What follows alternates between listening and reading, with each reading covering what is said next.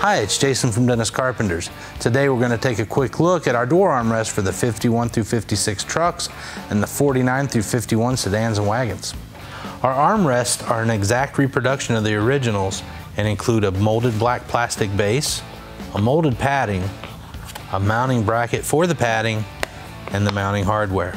Simply upholster the molded rubber pad, then fasten to the metal bracket, which then screws to the plastic base. The molded padding is not covered and should be completed with the upholstery of your choice. You can find these and many other restoration parts for your Ford at dennis-carpenter.com.